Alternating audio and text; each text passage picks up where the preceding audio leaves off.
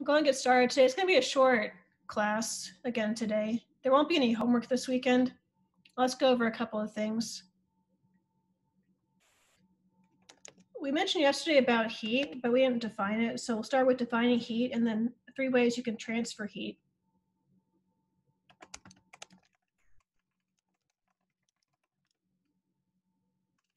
So heat is the energy that is transferred between objects that are of different temperatures.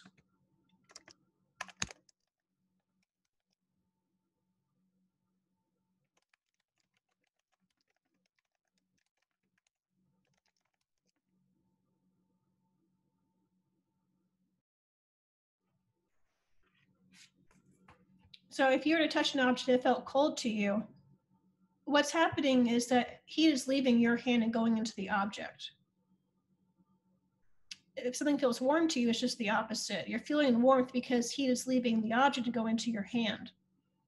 Heat always flows from hot to cold.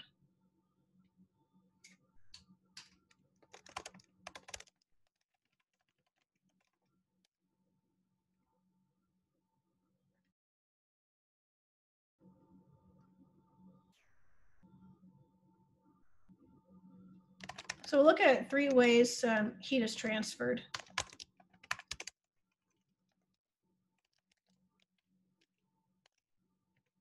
First is conduction.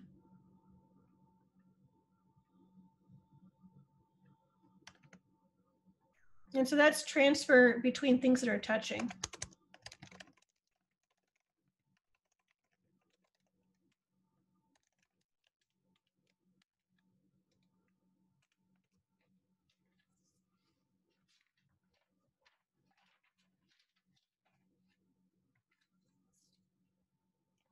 Second way is convection, and that would be the transfer of energy through the motion of fluids. And a fluid could be a liquid or a gas.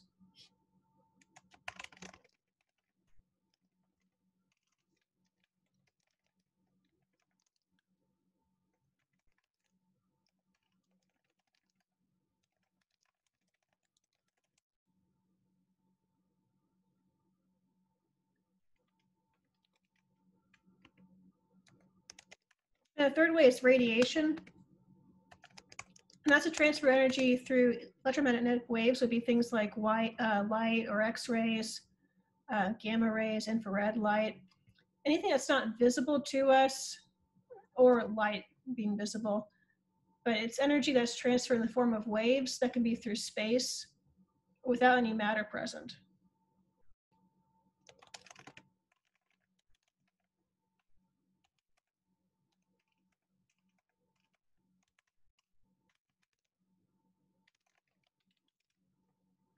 That'd be things like UV, light, infrared.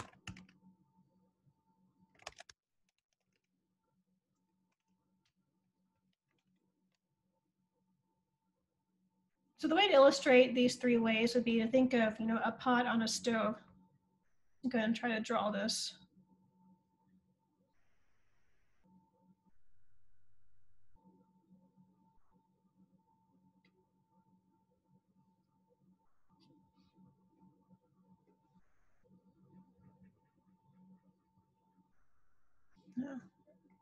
So you have a stove top with a red hot burner. And you put a pot on top of the stove top.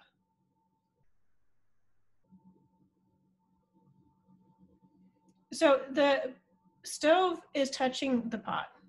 It is transferring energy that way. So the touching of the pot to the red hot burner is conduction.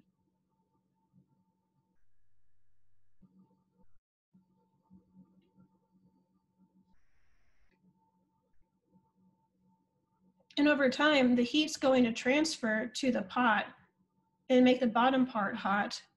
So conduction, touching the red hot burner to the pot surface makes that part hot.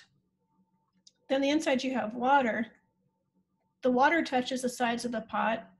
And so by conduction, it makes the water warm.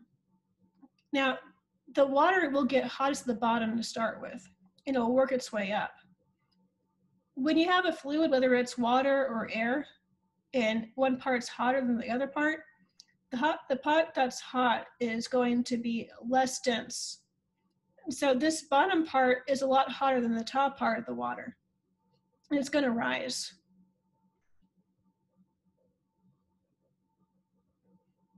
So the hot water down here, which is less dense, will rise to the top. And the cold water, being more dense, will sink to the bottom. And so you have this swirling movement going on where the hot water rises, the cold water sinks. And that's convection.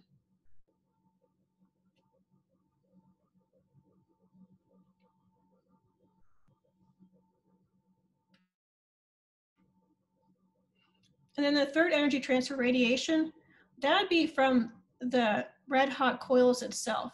And so it radiates heat outward. And that's how you can feel the heat of the pot, even though you're not close to it. Radiation comes off the red hot coil, comes off the pot, and that warms the surroundings.